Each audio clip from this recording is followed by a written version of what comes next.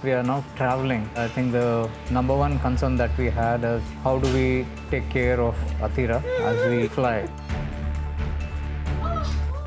We did actually tell our children, our girls, that Jayden is part of their responsibility when we are no longer around.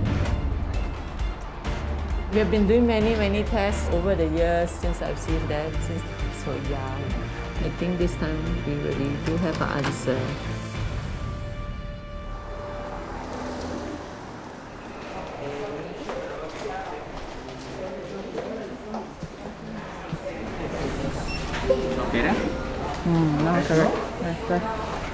So we'll be seeing Dr. Tan to update her on how Dzakir Dzakwan has progressed. Okay. Dr. Tan is the principal doctor for Dzakir Dzakwan. Despite our intervention and all, they are still unable to speak. They do have other medical issues such as the orthopedic ENT and also the eye issues. Let's go. Hi, hello. Hi, good morning, everyone. Hi, Dzakwan. Good boy. Dzakwan had a problem with the gut. He had problem with his development, uh, and also his head size was not growing well. So when there are multiple systems involved, people try to think of a diagnosis that explains it all, uh, and usually genetics is one uh, that we think about. For Dzakir and Dzakwan, um, we didn't have a diagnosis. As we got new uh, tests, access to better technology, each time we would actually run the genetic test for them and really want to pursue it until we find a diagnosis. This question has been with me for the past 17 years. Why the twins like what they are? There has to be some clinical medical explanation to the condition. There are a few uh, discoveries that we wanted to share with you. The newest technology that we have is called long read sequencing. It actually reads very big chunks of the genes at one go rather than very small areas. So it allows us to look at certain areas of the genes that we couldn't see last time. Mm. It's a new technique that allows us to see the gene better. This time around when we looked, there was part of that gene missing. This gene is very important in the formation of neurons and the development of neurons, and that's why it leads to learning disabilities and explains some of these developmental issues that they have.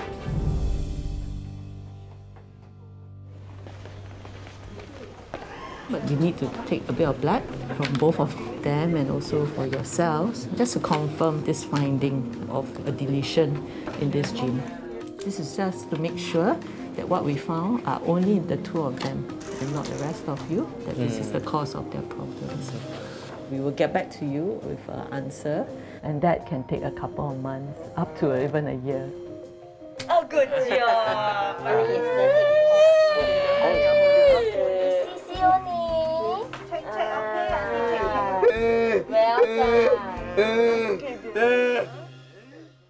I'm glad at least there is some explanation to what Dzakir Dzakwan is having.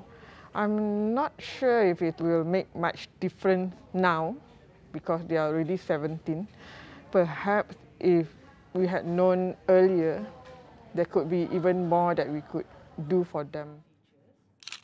Your other children are coming on other days. Yes, they are also quite anxious to find out, especially my daughter. Yes.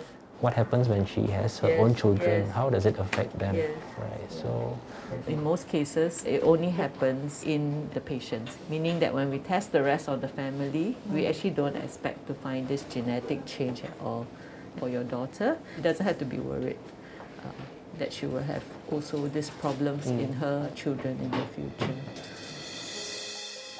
After all these years, you have been patiently trying out whatever tests that we've offered to you. Thank you for your patience, and I think it finally is paying off. It doesn't mean that we have a cure in terms of medication or anything. I don't think that's what we were really looking for. I think we were just looking for an answer. yes, that's right. Yeah. Until the final results are out, I still have that doubts in me about their condition. So hopefully there's a proper diagnosis that we can help the twins develop further intellectually or physically.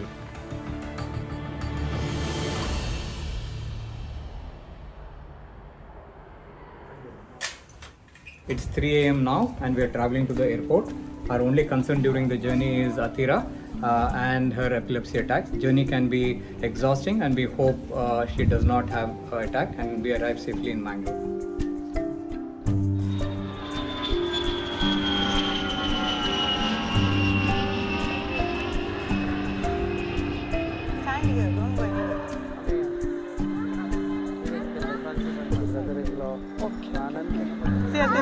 Say hi.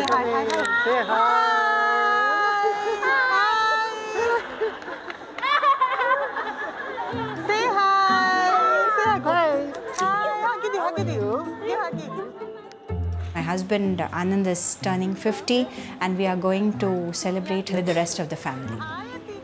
Ever since we came to Singapore in 2011, this is going to be the longest trip for us uh, in Mangalore. We are going to be there for around uh, five weeks. Atira and Seana have been diagnosed with a condition called Jamuar syndrome. This is about a gene called the UGDH variant gene that has not been passed on to our children by both my husband and I.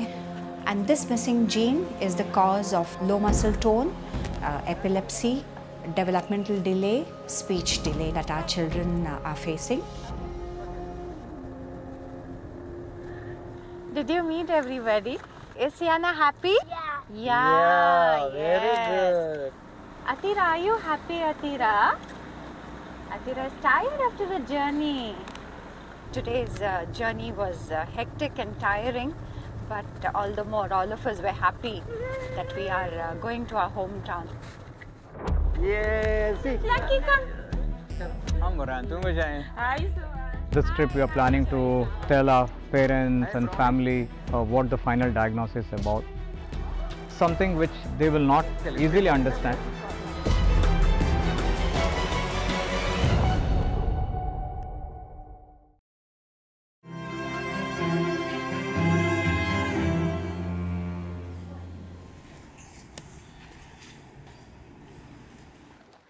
Jayden, mommy going to bring you to the park. Okay? Yes. Yes, yes, I know you're very happy. He's low muscle tone, so when Jayden put on his shoe, we had to actually put on this support to help him walk better on his own.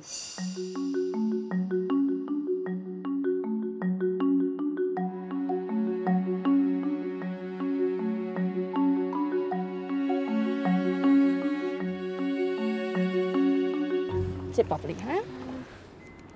He enjoyed going out with the siblings.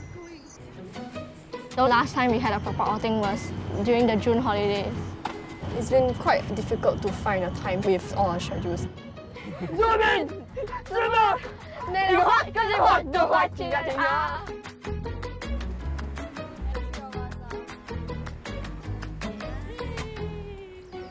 Here we are having picnic. Okay, girls, can you go over to the McDonald over there and help us get some food? Okay. Okay,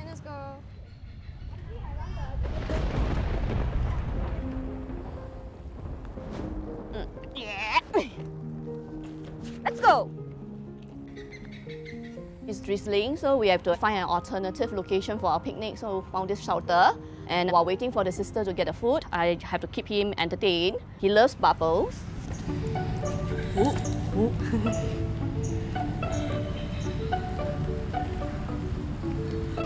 Crunch your feet, crunch your feet. And you. His finger, fine motor skill is not very strong. So these are some exercises that I will introduce during playtime lah. Yeah, just to get him to work that part of the muscle. My husband is out of town. On the entire year, probably maybe two-thirds of his time will have to actually spend overseas.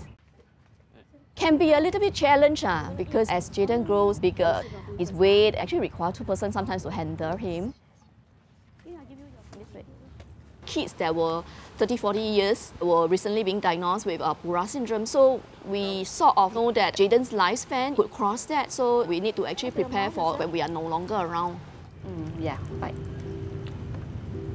Slowly. Jayden. Hey, hey, hey, hey, hey, hey, nothing there. Jayden. Nothing there, nothing there. Right now, we're like trying to take responsibility over from our helper on like our parents to see whether we can take care of him on our own. Can you bounce? Show him. You need to bounce, bounce, bounce. Our parents have told us like what are their plans for the future if they're no longer around. The best case scenario is that one of us can live like in the same house or opposite Jayden. No, no, no, no, no. I, I confiscate first. You chew one mouth, then we play. Ah.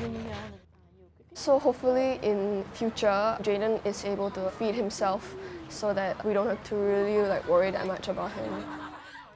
You bring the cup to your mouth.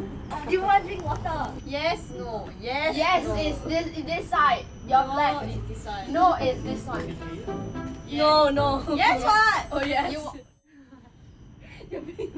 It's a very daunting thing to think about the future, especially for them with such a young age. Part of me wants to go overseas to like study, um, but then there's also the thing at the back of my head, which is to take into consideration of Jayden's needs. Someone has to be there to look after him. I also wanted to go overseas in the future. I was thinking maybe we could take turns, the yeah. three of us. Transfer your hand, transfer, move up. Okay. Right now, I'm going to the age where I have to start thinking about family plannings. I'm not really sure whether I really want to start a family because I don't want to add an extra burden or like take care of my family and then neglect Jayden. Since they're still in school, once I start working, most of the burden should fall on me first. So that's why for that aspect, I'm still a bit hesitant.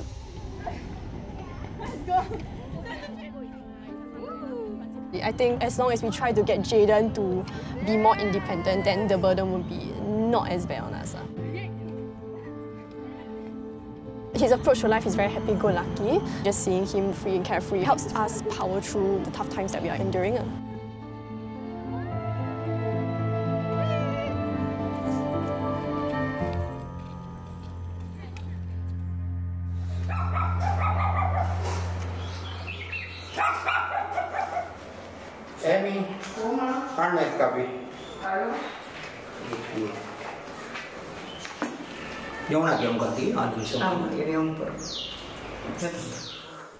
It was in the month of December 2003 and uh, she born in Bangalore.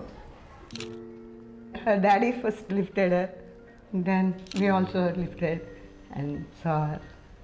So we became proud grandparents.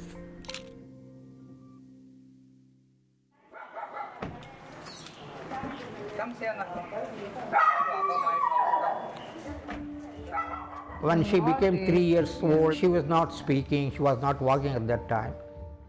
The normal baby used to do such, such many things, but our baby was not doing.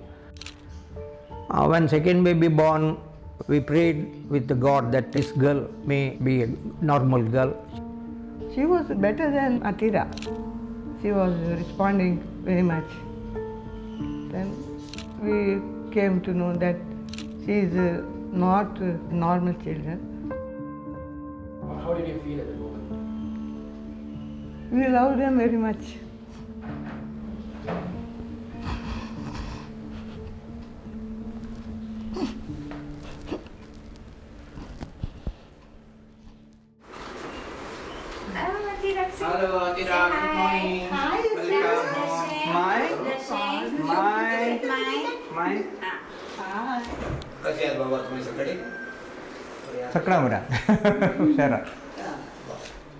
Today, um, Suman and me wanted to reveal and tell you what the genetic doctors. have discovered that both Atira and Seana have a genetic uh, uh, uh, syndrome. And this genetic syndrome stems from a lack of a protein because the genes have not passed to them. So these genes are both given from the parents, both the parents, and if either one of the parents passed his genes, they would be normal kids. Because both of us, me and uh, Suman, have not passed it on, it is not generating that protein in their brain. So that is causing their disability of learning, their motor movements. There is no medication for now. For these children, now they won't help. Correct. Research will happen, but for them, probably they will not have that benefit.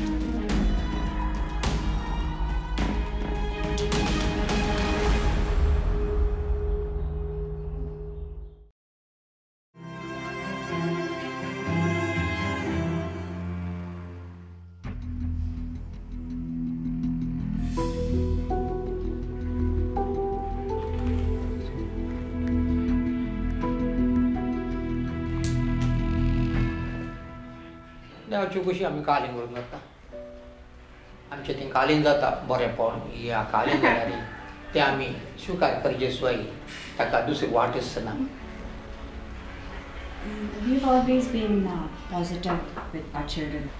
So we only ask you all to pray for them yeah. and uh, also to bless them always. We are also praying and we are also loving our children very much. Thank you. Thank love you. We have finally come met the grandparents, told them what this is all about, right? So it kind of closes a chapter. And I'm happy the way they have accepted things.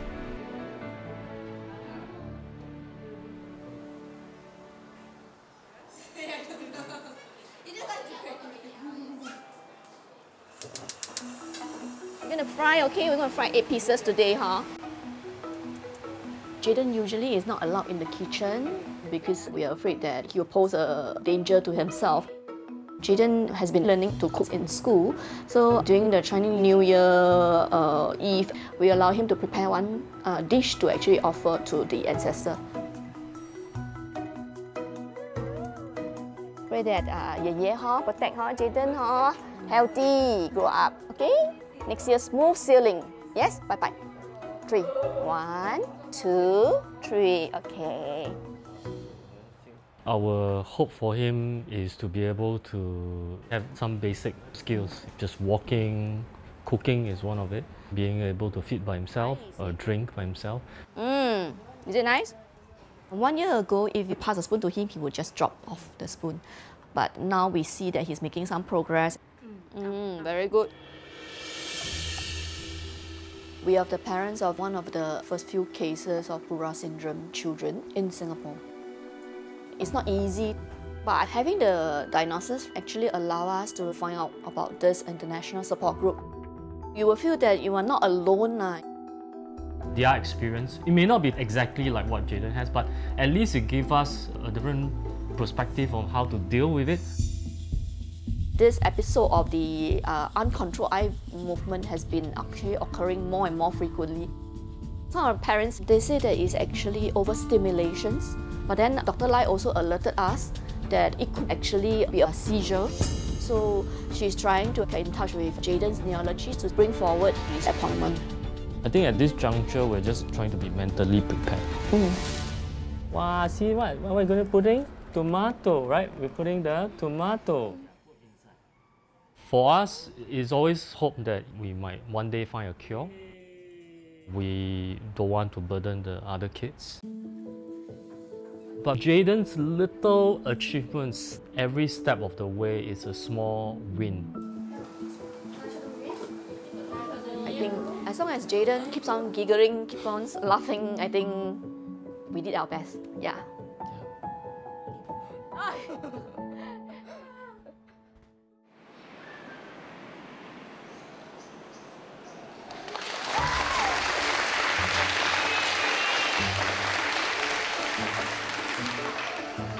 We are here today at Dzakwan School for his award ceremony.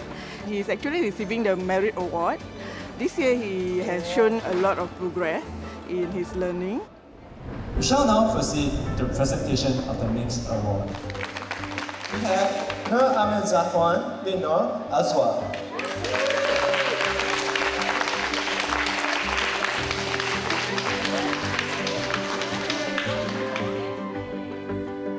Spite of all the challenges that we have faced along the way, Zaki Zakwan has grown up quite well. We heard a lot of feedbacks from the teachers, from people around us. When they see Zaki Zakwan, they see so much improvement. So we are quite proud of them too.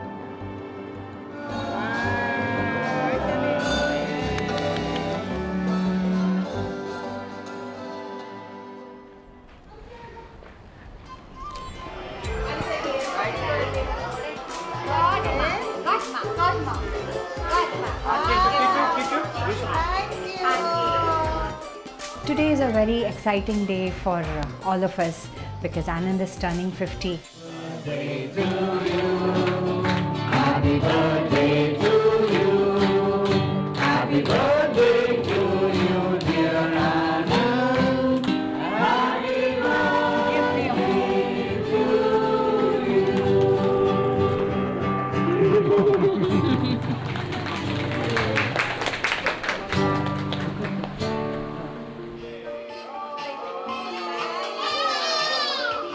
The last time that we were here, it was before the diagnosis was completed. But after the diagnosis, now we can explain to everyone it's a genetic syndrome and it has got a name now called Jamuar syndrome. So they've kind of taken that message well and hopefully they provide that support on managing them as their grandkids, as their cousins, as their nieces. Our trip in India is coming to an end. We've had a nice time with family and friends. Atira hasn't got uh, any relapse of her epilepsy episode. Uh, that is a good news. I just hope that through the research, some treatment would be found for our children and uh, our children are able to live a normal life.